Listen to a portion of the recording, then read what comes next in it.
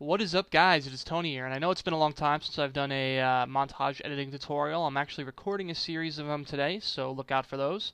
But uh, today we are talking about one of the most important uh, things when it comes to Mac editing, Final Cut Pro, After Effects, iMovie, whatever you're using, and that is file types on, uh, you know, clips you're sent. Uh, the fact is, yeah, MP4 and MOV file types like this file right here uh, are really great and compatible for Mac, and you can make sure that your soft you're always recording with your uh, recording software like HDPVR Capture.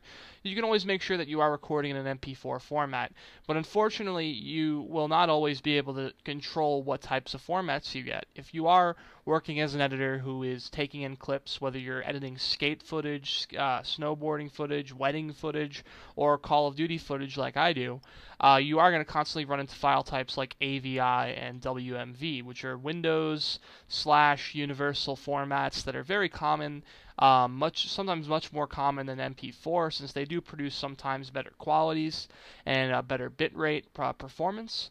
But uh, when it comes down to it, when you go into iMovie, for example, which I know is a very unprofessional app, but I just want to show you iMovie and how it reacts. When you go to import footage, you can see your AVI and WMV files are grayed out, but I can't import the uh, .mp4 file.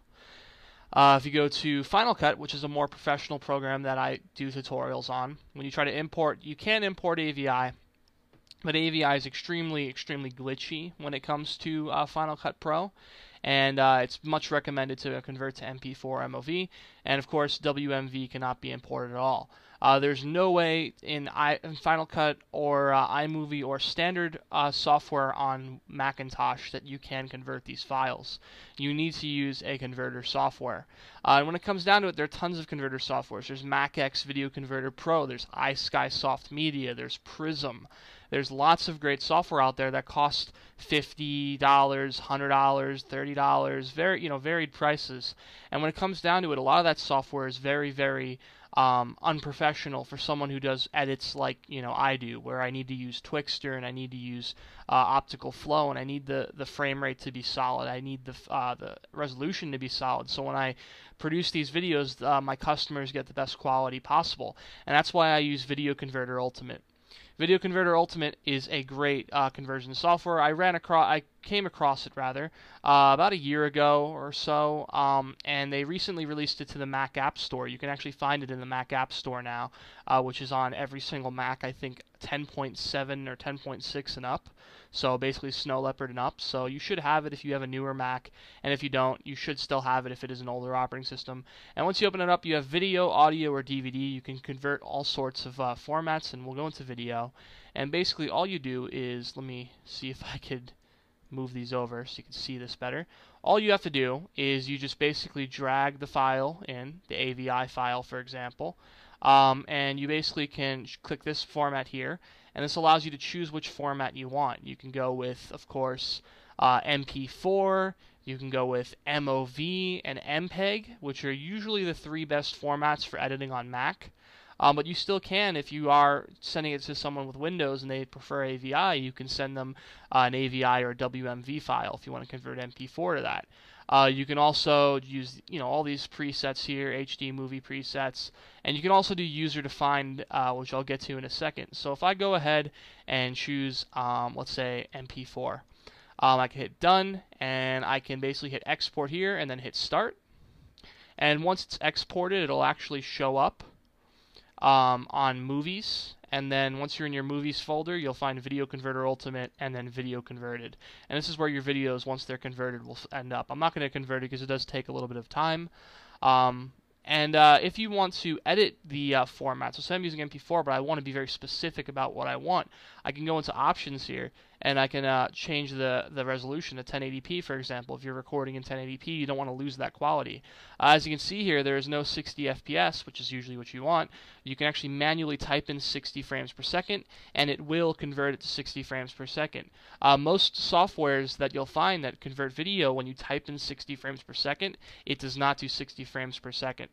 Um, you can also turn up the quality, the bit rate all the way up to high quality. You don't want to compromise in any way, and you'll see it stays around the same uh, size that originally was Um, you know, maybe it'll double it, but that's mostly because you're trying to uh, really get the best quality possible, which is important. But 28 megabytes is nowhere near unreasonable. You can also do this, uh, as I've said, with uh, WMV. You can take in WMV files, and you can go ahead and you can change this up. Now, when you have a custom, let me uh, get rid of this one. When you have a custom uh, format that you want to work with, like this one we just set up right now, or actually let's change it again, uh, 60 FPS. Spacebar is not working. Uh, okay, and 1080p. We can go ahead, hit OK, and we can hit Customize, and we can name it. So we can name this um, Modern Warfare. Well, we'll just put COD clips. I know I capitalized L there, but uh, you know you can put in COD clips. You can hit Done and uh, every time you go into here, say the, you know for some reason the uh, quality has changed, you just click here and you go to user define, and you can see all my user defines here. This is for movies. I keep it at 24 frames per second. It's usually what you want for a movie, like you know any typical movie like the Avengers. And uh, max quality is mostly for my clips, which is basically uh, you can see here 1080p, 60 frames per second. And of course, uh, if we go back to the qual the one we just made, COD clips uh, you'll see that it does stay with 1080p 60 frames per second. So even though there is no preset quality here that has 60 frames per second, you can user define your own and save them, which is very great. Um, the other thing is, uh, say I have a bunch of clips in here. Obviously, these are all very similar clips uh, in terms of name. But let's say when I import these ones, they end up being, uh, let's say, they just decide to say, do you want to convert these to AVI? I'm just trying to show you the features here so you guys know how to use the program efficiently. Um, when you have loads of clips in here, let's just say you have like a huge amount of like maybe 50 clips for a montage. If you want to be able to, um, you know, go ahead and apply the uh, qual the settings to all of the clips that you have for this one, as in my uh, COD clips format, you go to apply to current setting to all files and all files will have the same setting. I thought you guys just want to know that because some people do work with upwards of 50 clips, and uh, it is very difficult to have to go in one by one and change the quality over and over. Anyway, uh, these uh, the, you know the the quality that this uh, video converter pr produces is very very nice. The only downside to the uh, the overall quality is that when you have such high quality, unfortunately the file sizes do get quite big. Uh, 28 megabytes, like I said, is pretty big, uh, and it adds up over time. Like if you have, let's say, 50 files, like I said earlier, that's um, upwards of 1.5 gigabytes. And uh, if you don't have a lot of space on your hard drive, that could be a pain in the ass. But at the end of the day, it's worth it. It gives you the best quality, and it is really good for uh, converting files. It's probably the best method on Mac uh, to date that I've seen. So let's get out of the program real quick.